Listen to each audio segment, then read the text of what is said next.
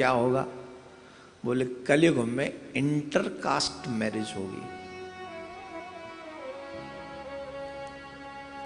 और intercaste marriage को accept कर लिया जाएगा। और कानून भी बनी गए आपको बच्चों को कुछ नहीं कह सकते। लेकिन भारतीय संस्कारों के अनुसार अगर इस पर चर्चा की जाए तो इस इंटरकास्ट मैरिज को उचित नहीं माना गया।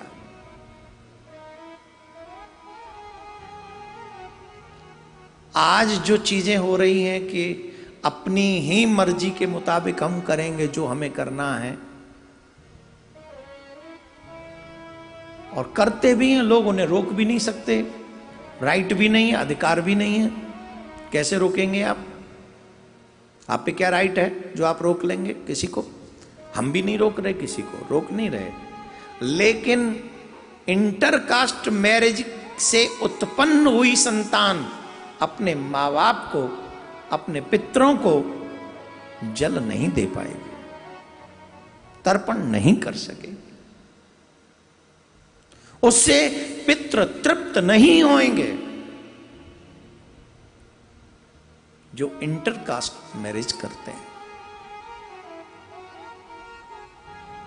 युवाओं से मेरा निवेदन है, आग्रह है, हम मनुष्य बनकर आए हैं, पशु नहीं। और मनुष्य की योनि में जब जन्म लिया, उसी समय हमारे ऊपर बहुत रिस्पॉन्सिबिलिटी हो गई थी। जिन माँ बाप के घर में हमारा जन्म हुआ है, उन माँ बाप की ही नहीं, बल्कि उनसे पूर्व जो पित्र हैं, उनकी भी ज़िम्मेदारी हमारे ऊपर है। हमारा एक आचरण उन पितरों को नरक में धक्का मार सकता है।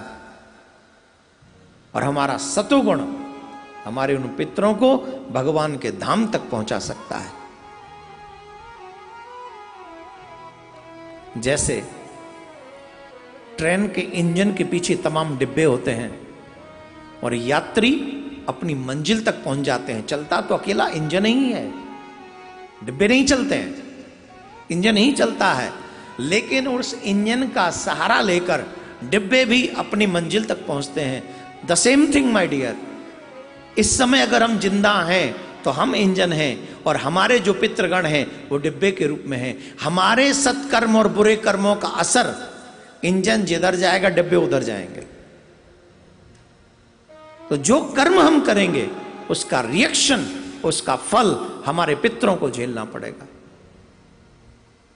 इसलिए इंटरकास्ट मैरिज हमारे यहाँ अलाउड नहीं है। हमारे भी संस्कृति में नहीं है। अब कोई कर रहा है, या करते हैं, या कर ली है, या कर चुके हैं, या आगे करेंगे, हमारे यहाँ वो तालिबानी न्याय तो है नहीं कि तुमने ऐसा किया, हम खड़ग उठा लेंगे, ऐसा कुछ नहीं है।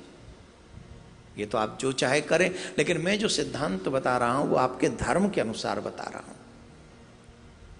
जो संस्कृति है, उसके अनुसार बता रहा हूँ।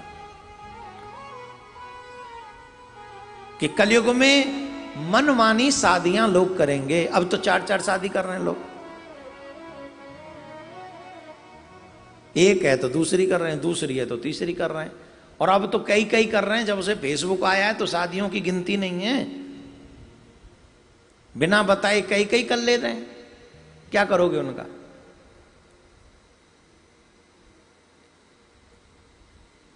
ये हमारी संस्कृति नहीं भगवान ने जो एक दिया है, एक दी है, उसी के साथ प्रेम से रहो, घर का माहौल अच्छा रखो